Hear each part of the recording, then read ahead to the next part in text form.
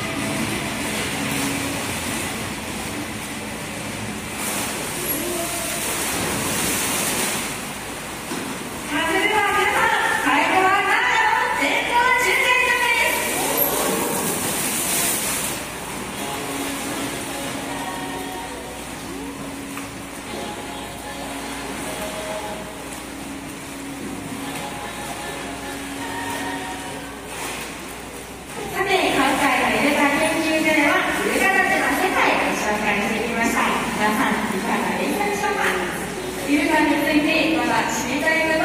くさんあといます。ぜひ何か聞きたいがありましたら私たちに聞いてみてくださいね今回は最後までお付き合いくださいまして誠にありがとうございました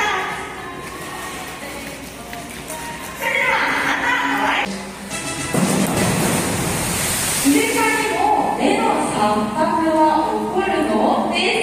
あそれでは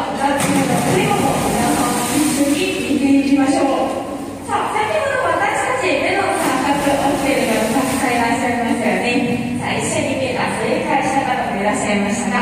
ではイルカたち絵の錯覚を起こるでしょうか？さあではまずは生き物の錯覚について少しご紹介をいたしますので引き続き前の画面ご覧ください。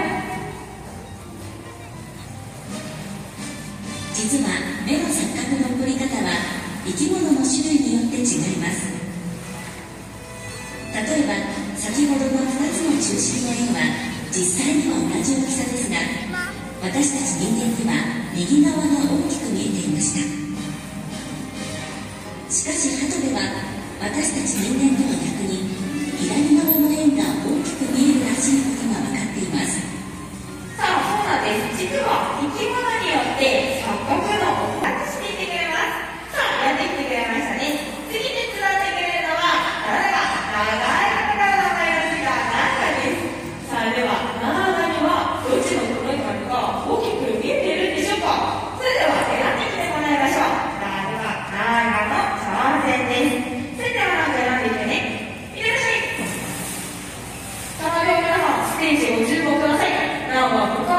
ます。内村様、いいでしょう